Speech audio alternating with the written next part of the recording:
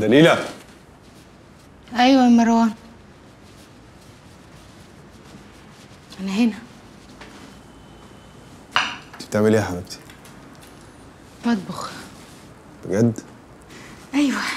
بتعلم إزاي أشغل وقتي. أهو بقى أطبخ أمسح أغسل. كل شوية أغير نظام البيت. حلو الموضوع الجديد ده صح؟ هيعجبك.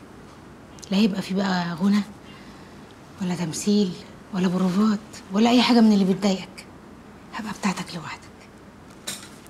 أنت فاكر إن هو ده اللي هيبسطني؟ إيه اللي بسيطك وأنا اعمل اللي هيبسطني إن أنت تبقي مبسوطة يا دليلة أبقى كدابة.